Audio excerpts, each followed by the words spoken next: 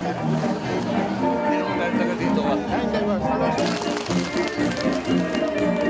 to build the peace as He is. Sa aming kakayahang mamahala, welcome to the Treasure Island of the...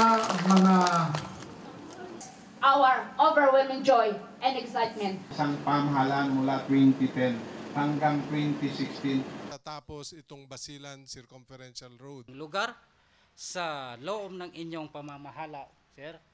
Mga kababayan, ang Pangulo ng Republika ng Pilipinas, Benigno S. Aquino III. sa pagsusongkreto na mahigit 51 kilometro bahagi ng kalsada Ay, iba ho yun. Sa dapat ito'y tinapos natin ang pagdurusa. maraming ah, salamat po. Maraming ah, salamat po, mahal na Pangulo, ah, mga kababayan.